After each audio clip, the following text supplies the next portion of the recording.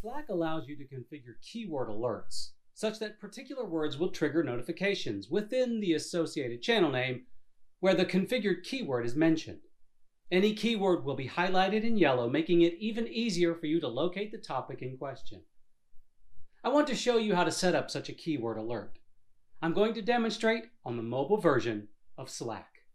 In order to set a keyword, do the following. Open Slack. Go to the workspace for which you want to associate keywords. Within the workspace, tap the menu button in the top right corner. Tap Settings. Tap Notifications. Tap My Keywords. In the resulting pop-up, type as many comma delimited keywords as needed. When finished, tap Save. Your keywords are now ready. You should start immediately seeing those words highlighted in yellow. Also found in the notifications settings is the delay setting.